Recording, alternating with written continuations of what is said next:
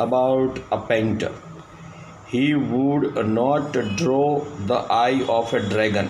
Dragon आपको पता है आग अ, निकालने वाला एक ऐसा animal okay he had painted he feared that it would fly out of the painting. Such stories played an important part in China's traditional education. The books of Confucius and Zhuangzi are full of them. They helped the master to guide his disciple in the right direction. These stories reveal the spirit in which art was considered. The writer then compares these stories to an old story from his own country, Flanders. He finds this story most representative of Western painting. Uh, yes, dear students, let's see the uh, let's understand the paragraph. अब एक दूसरी कहानी हम लेते हैं painting की। जैसे ये चल रहा है landscape of the soul okay तो यहाँ पे ये पेंटिंग में एक चाइनीज़ स्टोरी है। उसमें एक पेंटर जो है एक पेंटिंग बनाता है। उसमें वो ड्रैगन की। ओके एक ड्रैगन की पेंटिंग बनाता है मगर उसकी वो आँखें जो है वो नहीं बनाता। क्यों नहीं बनाता आँखें? क्यों? पेंटिंग ज़बरदस्त ड्रैगन की बनाई है उसने। मगर उसमें, उसने आँखें उसकी नहीं बनाई। क्यों नहीं बनाई? ओके। क्योंकि उसको डर था कि अगर आँखें बनाई तो वो रियल अब दिखने लगेगा और वो पेंटिंग में से बाहर आ जाएगा और बाहर आके वो कुछ न कुछ गलत कर देगा।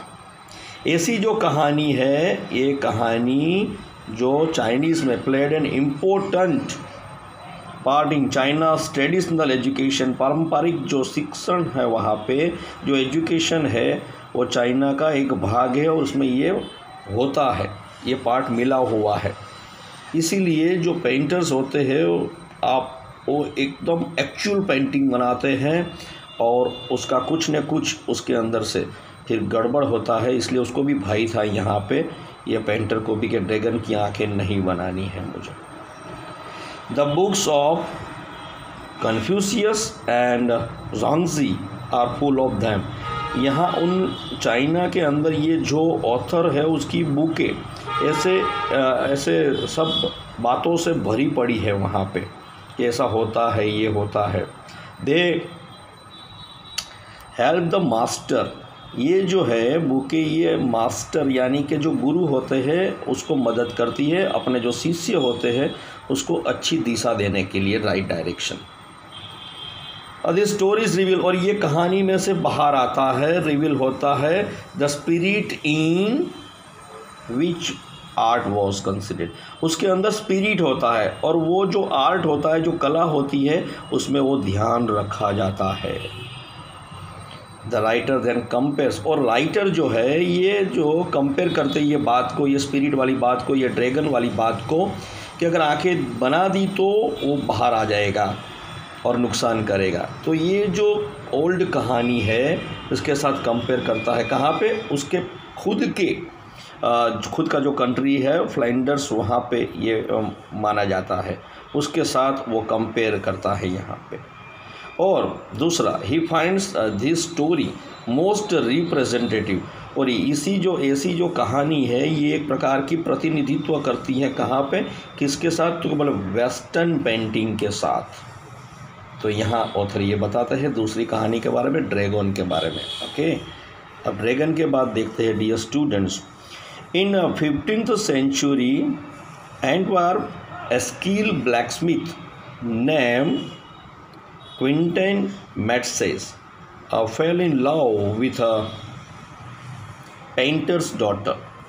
The father of the girl would not accept a son in law in such a profession. One day Quinton went into the painter's studio secretly. He uh, painted a fly on the master's latest painting. It was painted with delicate realism. The painter took it for a real one.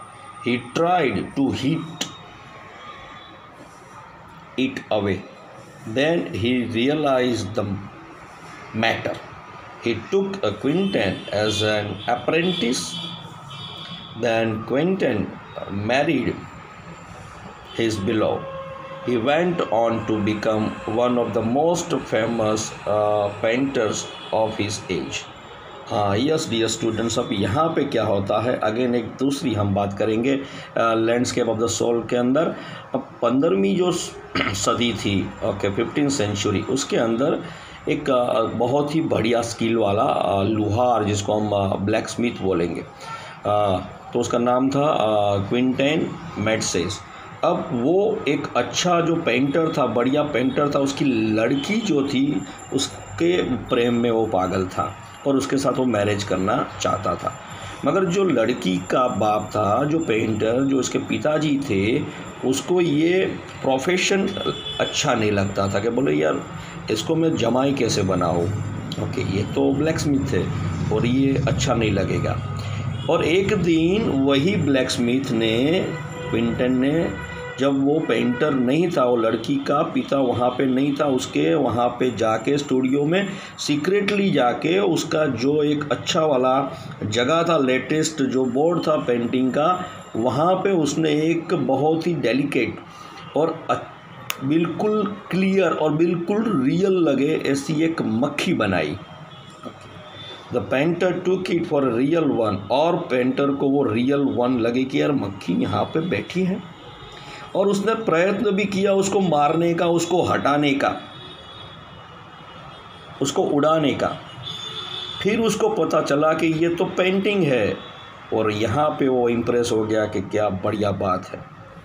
और उसके बाद पिंटन जो था उसको वहाँ पे उसने apprentice यानी काम पे रख लिया और अपनी लड़की के साथ यानी उसके लड़की के साथ भी उसको मैरिज करवाया। ओके आ, तो यहाँ पे उसकी शादी हुई और ये become one of the most famous और ये ब्लैक स्मिथ था उस समय का और one of the most famous painters उसके ज़माने का उसकी एज का हुआ तो ये था मक्खी वाला painting the above stories from China and Flanders illustrate what each form of art is trying to achieve. In Europe, the aim is a perfect Uh, the aim is a perfect illusionistic uh, likeness.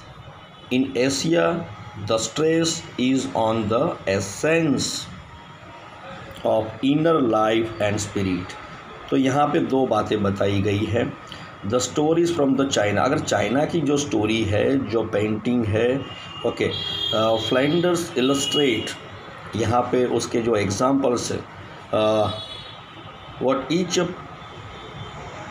form of art is trying to achieve कुछ प्राप्त करने के लिए, कुछ हासिल करने के लिए बनाए जाते हैं। और यूरोपियन की अगर बात करें तो एम क्या है? परफेक्ट है।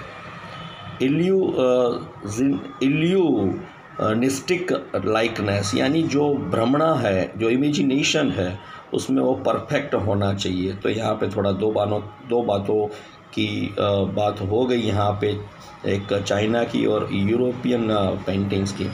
ओके इन एशिया की बात करें तो in Asia the stress is on the essence of inner life अगर एशिया की पेंटिंग की बात करें लैंडस्केप की बात करें लैंडस्केप ऑफ़ द सोल की बात करें तो उसका एक एसेंस होता है किसका? तो इनर लाइफ जो भी पेंटिंग करो तो उसकी इनर लाइफ क्या है एंड स्पिरिट क्या है, उसके बारे में वो बताया जाता है। तो यहाँ पे थोड़ा कंपैरिजन है डियर स्टूडेंट्स और ये आपको क्वेश्चन आंसर के अंदर भी पता चल जाएगा। जब आप ये पूरा क्वेश्चन आंसर और ये पीडीएफ जब मैं सेंड करूँगा, तब ये आपको और ज़्यादा अच्छी तरह से क्लियर होगा डियर स्टूडेंट्स ओके